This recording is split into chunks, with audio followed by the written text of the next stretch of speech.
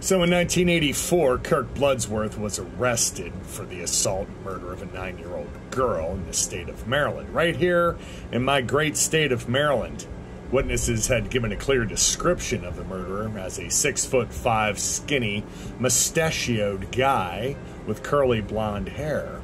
It was an open and shut case. Just one problem Bloodsworth was only six feet, clean shaven, red hair, and tremendously overweight. Nonetheless, the state of Maryland tried him and threw him on death row. Perhaps the dumbest aspect of all of this is the police had recently caught a guy who matched the suspect's description to a T. He'd recently been jailed for the rape and attempted murder of another minor and was incarcerated in prison one cell away from Bloodsworth.